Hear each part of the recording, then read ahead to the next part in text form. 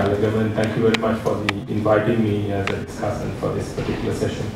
So um, I think uh, one thing is very, very clear. That's uh, SDGs and the, uh, the climate actions or the Paris Agreement uh, targets coming as national determined contributions and national adaptation plan as clearly overlaps synergies that we need to tap into. And uh, we are clear where the links are. I think what we need to think about the, the next steps, how to go forward. Um, the next steps, I think there are a couple of uh, challenges that all the countries need to think of. One is the, the institutional mechanisms of implementing climate action and implementing SDGs need to have synergies. I think that's a bit of a challenge to the entire region because the implementation mechanisms are not perfectly overlapped. So probably those are very country specific and country appropriate mechanisms, but I think that's very important. And on the other hand, the, how we can tap the synergies. There are two uh, advantages in the, the climate action, which can be absorbed into SDG implementation mechanism. Where I see the financial mechanism of the, uh, the climate action, the Paris Agreement and UNFCCC, it has evolved to a level uh, much more than the SDG financing mechanism. So that's something we can learn, how we can finance as SDGs. So if we know how the, the climate change or the climate action can bring synergies to SDGs, probably the climate financing is an opportunity, an advantage. How to do that? Probably we need a bit of homework there. How we can tap into that climate finance and make sure that we build that synergies into SDGs. Uh, similarly, I think there's another challenge because the whatever said and done, the 2030 agenda is a common agenda. We have uh, different compartments of it. But we have reporting and compliance responsibilities separately for these mechanisms. We have a separate reporting mechanism for sustainable development goals and a separate reporting mechanism of the compliance mechanisms for um, Paris Agreement and the climate action. So I think this is a burden for, uh, for developing countries. So probably we need to bit of a homework how we can build synergies in monitoring, reporting and verification as well. So at the moment, when we implement climate action, of course, the climate change uh, monitoring happens in a separate stream, but it's not being reported under the SDGs and vice versa. So probably we, all the countries need to do a bit of a homework again, how we can build back synergy, how we build the, the monitoring, reporting, and verification aspects of climate action and uh, the SDGs. I think these are the few points I wanted to highlight. And again, it's very clear that uh, climate action is going well beyond uh, SDG uh, 13. It's not just related to only one goal, but it cut across basically almost all the, uh, the SDGs. The links are clear, but the financing, institutional mechanism, and the reporting of the compliance mechanisms need to be uh, written out a little bit more detailed out so we can uh, tap into the synergies much better. So I'll just from there be brief in my comments. Thank you. Uh, thank you very much, Mr. Pallal, uh, for those uh, very, very, uh, I want to say, the idea arousing uh, questions. So in fact, it's, a, it's a very, very, very good point that you said that we have many as uh, overlaps we have, we have many as synergies we have, because private financing is not established. So such monies can be directed to achieving the other SDGs. So it's a, it's a very, very good uh, point. So now let me invite uh, our panelists to, to respond to what the, the discussion Mr. Uh, Pallal mentioned about the institutional mechanism, how to uh, how to tap how to tap the synergies and the financing mechanisms, and also reporting and compliance management. Do you have any any anything to right now?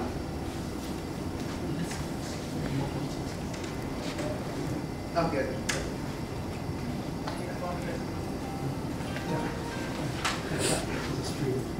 I can be loud enough to be hard. yeah. Uh, but climate finance is extremely important. As I have mentioned, we cannot afford to depend on external sources so much. We have to place as negotiators because we are the victim and climate finance is our right, uh, not a charity as the ODA, development assistance, is. So we have to fight for. But at the same time, within the nation, we have to devise fiscal framework, for example, polluter-based principle and for a beneficiary-based principle. Uh, and that can be uh, done in a revenue neutral way. For example, if you punish the uh, sin activities in the sense of uh, polluting, uh, in the sense of penalizing the harmful activities, and then at the end of the day, if you give rewards to those who do uh, uh, kind of follow uh, sustainable lifestyle, sustainable production, then at the end of the day, the um, take-home salary or the take-home profit can be re revenue neutral. Uh, so this is a key instrument that we need to follow. Thank you. Uh, so, uh, so can we can take then some other questions as well from the audience so that uh, we can respond. Our, our panelists can respond. Uh, uh, respond one. I have a question. Uh, so Dr. Anand, this is why I come. Um, so anyone, everyone can hear me. Um, so the question is, you mentioned about the sustainability aspect that is incorporated into the cabinet uh, decision, right? What does that entail? What does the ministry have to do to be part of this and achieve whatever that's required? All right. Uh, thank you for the question. Uh, of course, uh. Uh, in fact, uh, so this we can be the, the leader in that sense in Sri Lanka. We can be the leader in in, in, the, in the, the practical sense how we can really achieve SDGs uh, in, in country. Now, uh, see, um, of course we are talking much. We are talking much. We are developing plans, and then, then what happens finally is uh, the doing it the business as usual. We are not moving outside. Now here we are going out of it, and we are we are moving out of the business as usual scenario. And uh, so right now we have different ministries have different different missions. For example, housing, housing for example, it's a housing mission, uh, uh housing mission, a mission of uh, building houses. The water mission, uh, the water sector development. But finally, so where the, the integration part comes, they are they are working in different different different different uh, spheres, different different agendas. Now we have to understand we are doing everything for the benefit of public, so we should have one mission. For example, in one team, if different members are going to have different different uh, agendas. So that team is not going to win. So this uh, everybody has to. So the first thing that the, the ministries have to do is every ministry has to have one common mission that is uh, sustainably develop Sri Lanka. Hereafter, every ministry have, have one mission, right? And then uh, different missions. So the ministries now, of course, we, we are going to each and every ministry. We we just need three more workshops to cover the entire country in public sector, right? public sector. Now every, every department, every government department, every ministry has to develop their public service delivery strategies, mainstreaming SDGs into that one. So hereafter, every government institution will have a, a uniform format for the, for the planning and the development strategies. And then that is the whole of government approach.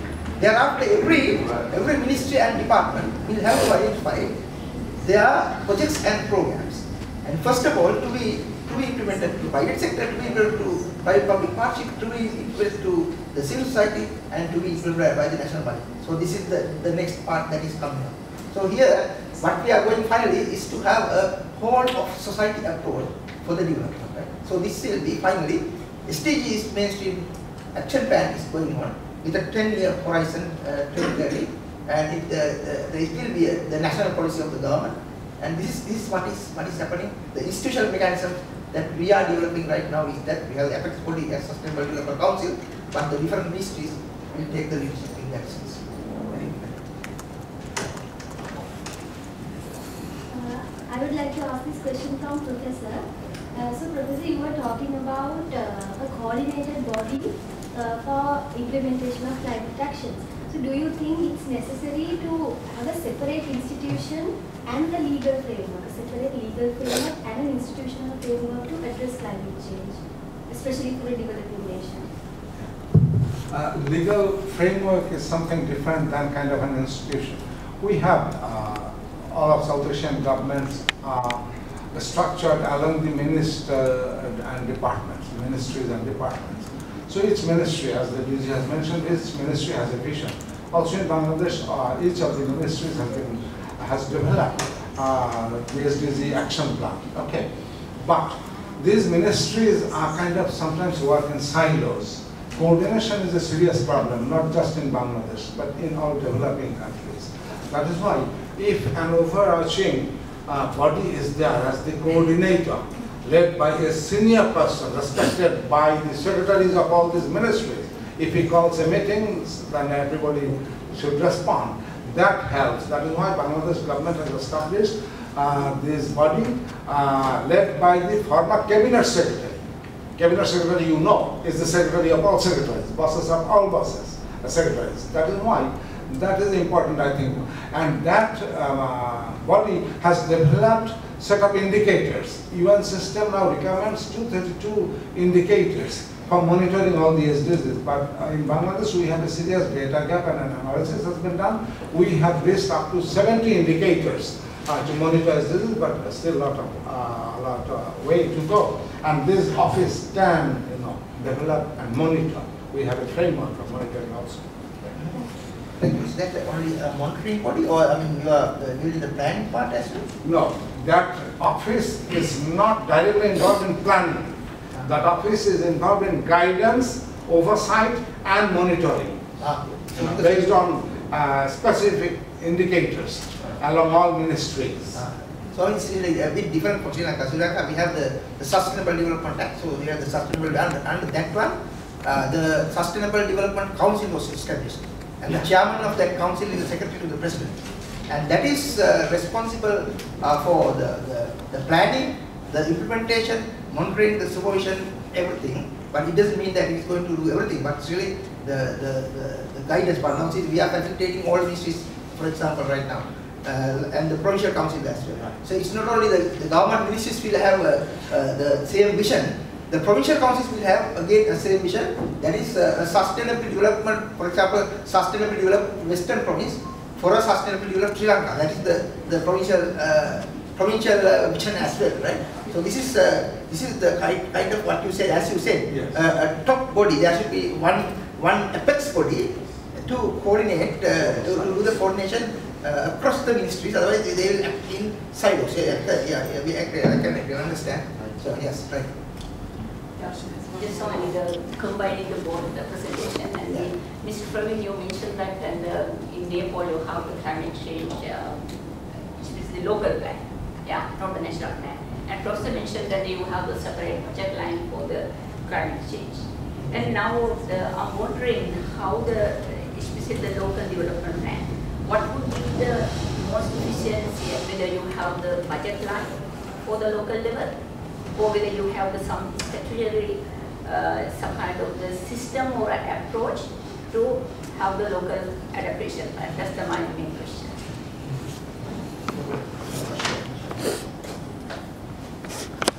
Uh, in terms of a, a local adaptation plan, what uh, uh, what the government did is that it, it has aligned the plan with the uh, annual development plan of the local governments.